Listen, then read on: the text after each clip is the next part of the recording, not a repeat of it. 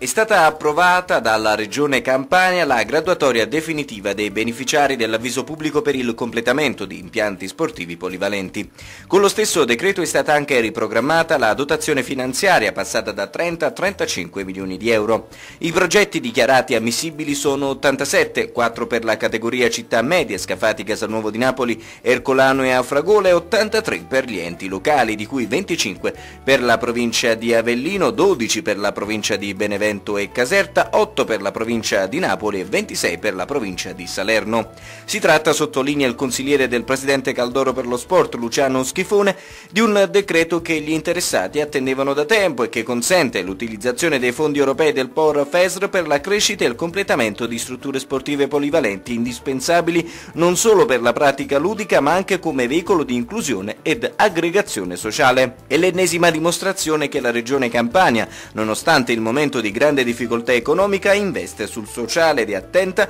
a tutte le province campane, conclude Schifone. Per il Vallo di Diano a beneficiare di tale misura sarà Sala Consilina dove partiranno a breve anche i lavori di ristrutturazione delle tribune dello stadio Svaldorossi, il comune di Casalbuono per l'impianto sportivo De Filippo e Atena Lucana. I finanziamenti fanno riferimento alla quota FERS POR Campania 2007-2013 che verranno ripartiti in base alla graduatoria agli abitanti degli enti partecipanti.